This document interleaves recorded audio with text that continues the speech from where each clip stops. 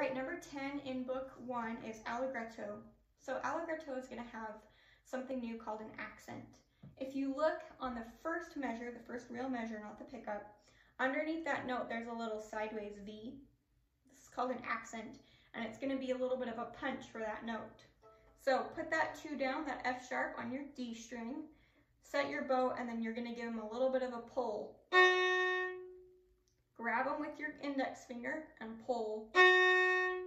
Now I'll add the first two notes of the song before my accent. accent.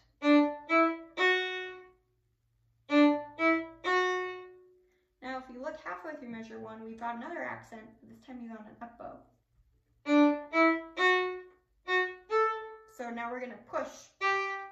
Before we pulled, now we're gonna push. So listen to my first few measures.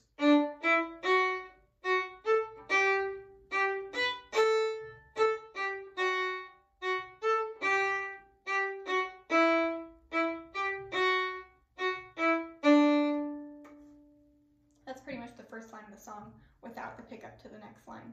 So that's how you'll learn this song is with your push and your pull, one line at a time.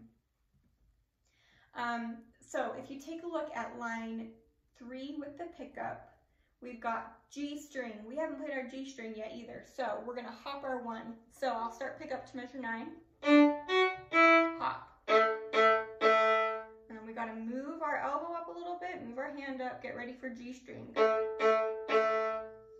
Here's that spot again. And then you can hop them back and keep playing on the D string. Um, you'll notice that in measure 9, 10, 11, we've got another rit, ritardando, so we're going to get a little bit slower. And then we've got a fermata, so we're going to hold that E for a while. And then in measure 13, we've got a tempo. We'll go back to the original tempo. We've also got a decrescendo in measure 11 and 12, so we'll get a little bit quieter as we get slower. Good luck with Allegretto.